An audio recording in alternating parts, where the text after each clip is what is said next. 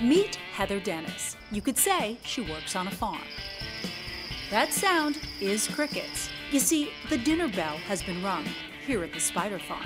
The tarantulas, yes, tarantulas, are hungry. Most any insect will do, but crickets seem to be a favorite. Sometimes one of them crawls out of the lid and it's like, okay, quick, stand up before it crawls on your clothes. One cricket can keep a spider fed for days. They start as babies and they're going all the way to adults. Heather works for owners Chuck and Anita Christensen. The couple is in the business of raising spiders and other poisonous creatures. At times, the Christensens will have as many as 75,000 spiders living in the house with them. It's all happening inside this modest home here in the tiny Arizona town of Yarnell. It's often hard to explain what we do and why we do it. Not just tarantulas, but many other varieties of spiders, including Arizona's dreaded black widow, with her telltale red hourglass figure on her black body. Spiders are something you need to respect. The black widows are fed maggots. Some spiders can kill. There's a lot of spiders out there that we don't know what the venoms are capable of doing.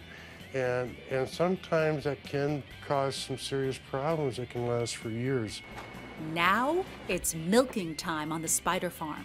A tray of waiting tarantulas. I've never had a serious bite, okay? I mean, that's something that actually landed me in the hospital, okay?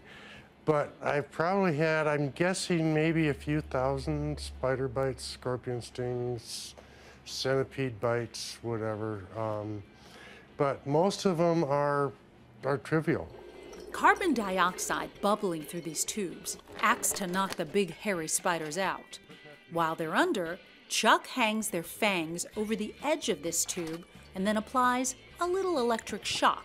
And presto, venom. If you calculate out per gram, like a black widow venom, okay, might be a few million dollars, okay, per gram, okay? But nobody will ever buy a, few million dollars worth of black widow venom, okay? They might buy a few hundred dollars or maybe a few thousand dollars or something like that maximum. And that's a lot of work just to produce that amount. The spider venom is valuable because drug companies think it'll be the next big thing. For example, new ways or new ideas, techniques to stop atrial fibrillation, heart attack, uh, block epilepsy, bladder control, um, pain. Pain is a very big topic right now. And there's a lot of stuff that spider venoms have that can reduce pain. But the discoveries, okay, if um, a pharmaceutical makes a discovery off of that, it could really be worth billions and billions of dollars, easily. The scariest part of my job is, you know, probably working with the tarantulas because the smaller spiders are very, they're small.